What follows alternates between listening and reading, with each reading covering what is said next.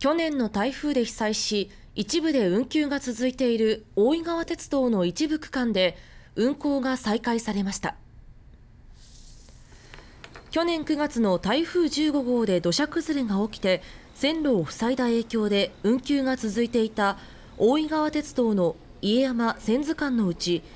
家山川根温泉笹窓間およそ2.9キロの運行が今日再開されました。午前6時半過ぎ島田市の川根温泉笹窓駅から再開後の一番列車が家山方面へ出発しました。残る川根温泉笹窓千図間は土砂崩れの影響がひどく